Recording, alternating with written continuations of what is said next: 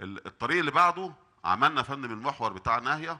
وأنا بس هذكر ال- الإخوة الموجودين في محافظة الجيزة إن ده ال- المحور ده كان مسار لترعة. الترعة دي كان بيمر فيها المية بتاعة محطة الصرف المعالجة. ولكن إحنا بفضل من عند ربنا قدرنا نوجد مسار تاني للترعة دي وفي طريق هنا اسمه آه، عبد العال هننقل عليه أو بدأنا في الفعل ويمكن نسبة تنفيذنا فيه 30% آه، المية دي بالكامل وعملنا لها مواسير وهتبقى متغطية وقلبنا المحور ده هيبقى طريق سيادتك 4 و4 وطوله 8 كيلو.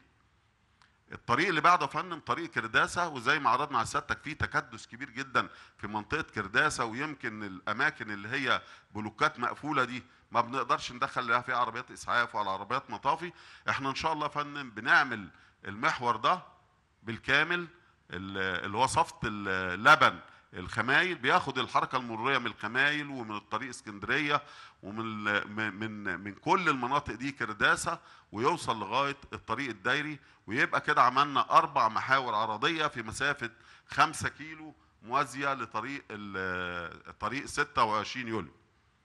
آه، كمان يا فندم شغالين دلوقتي مع وزارة الإسكان بنعمل المحور بتاع صفت اللبن آه، بيدخل على ميدان الجيزة مباشرة بطول 5 كيلو.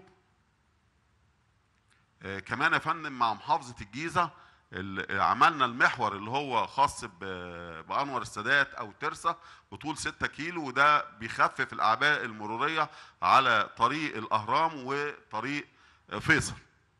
بيربط يا فندم من ميدان الرماية بيوصل لغاية ميدان الجيزة. ال- الطريق ال- السادس يا فندم أو السابع الممشى السياحي كان بيربط يا فندم المنطقة دي ما كانش فيها آه، يعني اتصال كان نهاية ال- المحور الطريق الدايري ال- اللي هو ال- الجزء الجنوبي منه ربطناه سيادتك بطريق الواحات. بكده يا فندم إحنا عندنا هنا سبع طرق طولية بالإضافة الخمسه اللي كانوا موجودين يعني إحنا النهارده عندنا طرق طولية إن شاء الله هيبقوا في الجيزة 12 طريق.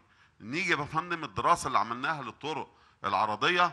آه، أول حاجة يا فندم طريق الخمايل ده بطول 10 كيلو بينقل الحركة المرورية من الشيخ زايد ومنطقة الخمايل بيوصلها لغاية الطريق الدايري القاهرة.